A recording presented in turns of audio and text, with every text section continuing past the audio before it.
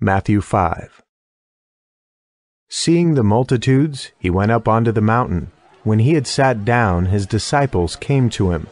He opened his mouth and taught them, saying, Blessed are the poor in spirit, for theirs is the kingdom of heaven. Blessed are those who mourn, for they shall be comforted. Blessed are the gentle, for they shall inherit the earth. Blessed are those who hunger and thirst after righteousness, for they shall be filled.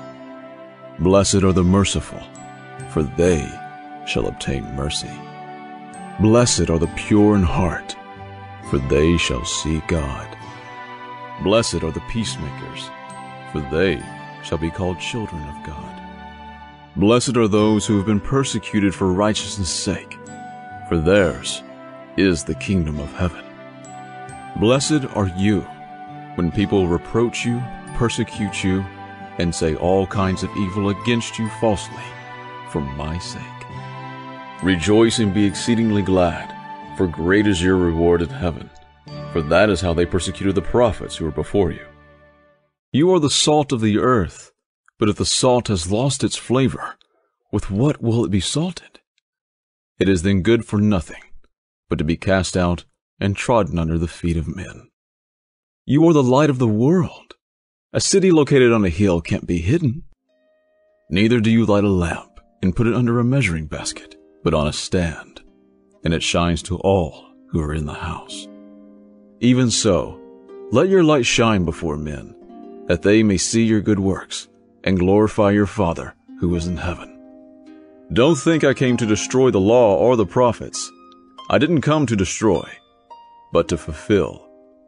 For most certainly I tell you, until heaven and earth pass away, not even one smallest letter or one tiny pen stroke shall in any way pass away from the law, until all things are accomplished.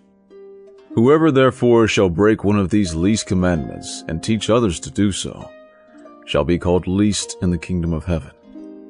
But whoever shall do and teach them shall be called great in the kingdom of heaven. For I tell you that unless your righteousness exceeds that of the scribes and Pharisees, there is no way you will enter into the kingdom of heaven.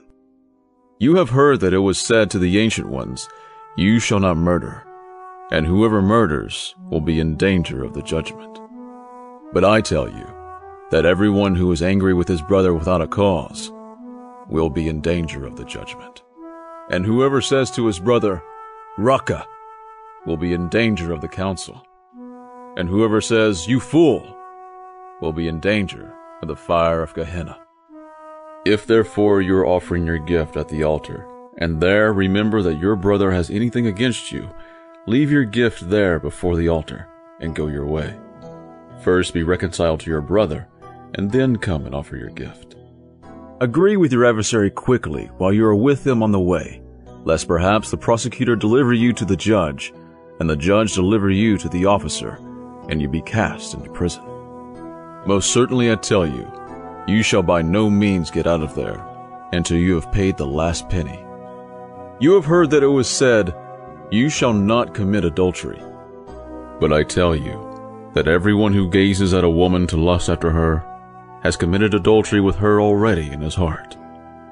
If your right eye causes you to stumble, pluck it out and throw it away from you. For it is more profitable for you that one of your members should perish than for your whole body to be cast into Gehenna. If your right hand causes you to stumble, cut it off and throw it away from you. For it is more profitable for you that one of your members should perish than for your whole body to be cast into Gehenna. It was also said, Whoever shall put away his wife, let him give her a writing of divorce.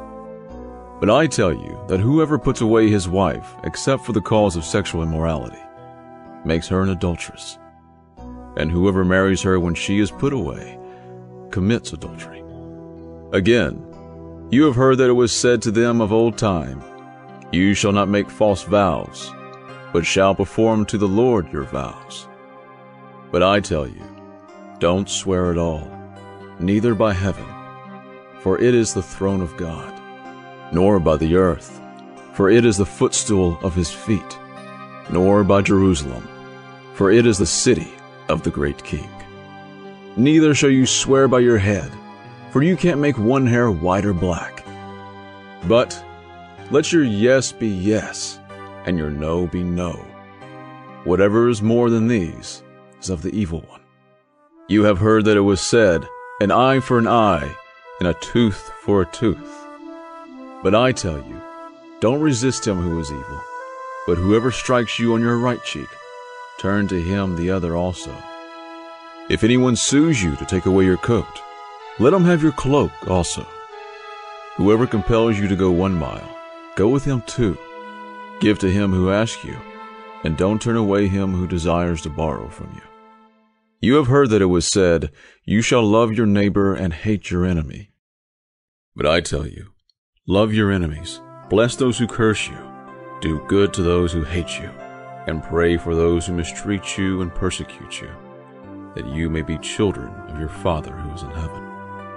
For he makes his sun to rise on the evil and the good, and sends rain on the just and the unjust. For if you love those who love you, what reward do you have? Don't even the tax collectors do the same?